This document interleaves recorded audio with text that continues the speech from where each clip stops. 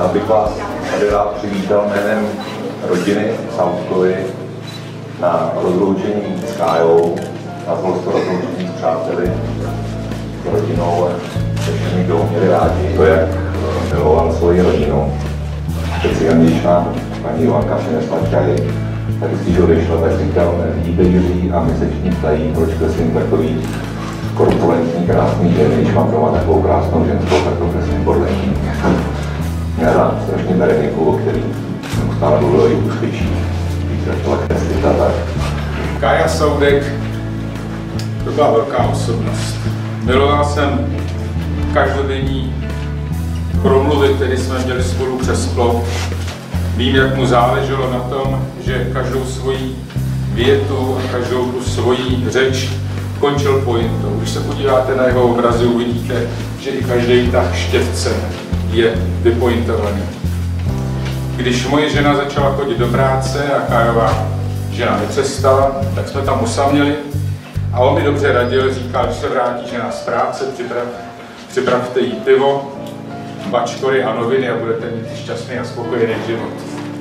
Tak jsem činil a žil jsem šťastný a spokojený život. Dodneska lituju, že jsem všechny ty naše promluvy, které jsme spolu měli, že jsem si je nezaznamenal. Těž Kája, než začal kreslit cokoliv, nebylo téma jeskyně, pak si vynutil nějaké to dobrodružství v podzemí, vynutil si, aby mohl s kamarády jeskyňáři prolézat nezpřístupněné jeskyně a teprve potom jako správný řemeslník ty jeskyně mohl dávat na čtvrtku. Přátelé, Tohle je Kája Slovská, to jsme tady asi všichni. Kája neměl lehký život, čekal, zažil hledat co zlého, ho chci ušetřit aspoň špatného řečníka a další. A, takže i takhle zprostředkovaně nejenom grafickou stránkou se myslím Kája zasloužil o dnešní rozmach a dnešní úroveň československé, české science fiction. Vím také, že jste takto trpělivě, ale vlastně i s určitým potěšením přijímal desítky a možná stovky fanoušků a příznivců.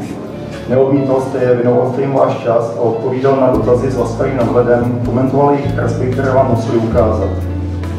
A také jim neváhal zapůjčovat vaše vlastní mnohdy stěžejní komiksová díla bez jakýchkoliv pochybností, že se vám nevrátí zpět. Nikdy jste, také, nikdy jste se také nikam neprotlačoval, ale trpělivě jste pracoval se zarputlým zaujetím a čistým nadšením, které z vás treskalo a přenášelo se i do vašich obrázků. Snad právě proto mohu bez nadsázky konstatovat, že se pro mě staly naprosto srdeční záležitosti. Milý Kájo, děkuji vám za všechny ty radosti, které jste mi v životě poskytl, za stovky krásných hodin strávených nad vašimi obrázky i za ty krátké okamžiky, které jsem mohl strávit přímo s vámi. Díky vám jsem také poznal celou řadu mých dobrých kamarádů a přátel. A to je, myslím, přesně to, co jste vždy chtěl. Nehrát si na žádné veliké umění, ale dělat zábavu pro lidi a pro radost. Troufnu si tedy říct, že nejen vaše práce, ale právě i vaše chování a lidské vlastnosti z vás udělali nedostižného krále českého komiksu, krále, který tu s námi zůstane navždy, nejen na stránkách knih a časopisů, ale i v našich srdcích. Řekla, že budu na Káju vzpomínat jako na, na člověka, který měl dobrý srdce. Všichni naši přátelé. Vím, že jste všichni Káju měli velmi rádi a, a Kája vás také měl rád. Tak kdyby někdo chtěl ještě něco tak říct, tak prosím, máte možnost. Jinak já vám opravdu, opravdu ze srdce děkuju. Všichni, kteří mě projevili soustrast, napsali mě SMSky nádherný, který bych nechtěla, aby se mi někam vymazali, napsali i dopisy, napsali karty různý. Je vidět, že Kája byl neobyčejně oblíben a byl, byl, byl rád na světě. Jednou jsme byli nahoře, jednou dole, ale vždycky ten život s Kájou byl fajn. A Kája byl člověk, který se nenechal nikdy nic diktovat, vždycky si stál za svým a, a nikdy se ničemu nespronevěřil a, a nikdo ho nebyl schopen ukočírovat, protože byl volný jako pták. A snad proto jsem s ním byla tak ráda. A nechal tady velikou stopu, jednak nechal velkou stopu ve svých obrázcích, dále, že na ně budou lidi vzpomínat, protože on nejen, že krásně kreslil a byl za to nakonec oceněn králem komiksu, ale on také krásně psal, on dobře mluvil, psal básničky a vůbec celý ten život se tak, takový zábavný byl. A potom bych vám taky chtěla říct, že jsou stále dotazy, proč Jan Saudek přijde, nepřijde.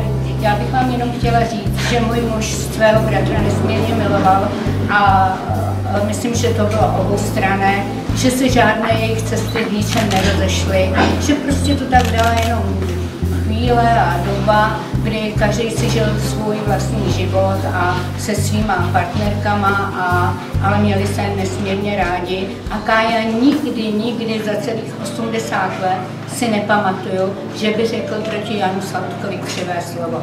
Nikdy, nikdy nikdy. Ta, nikdy to ani nenajdete, nepřečtete, protože to tak nebylo.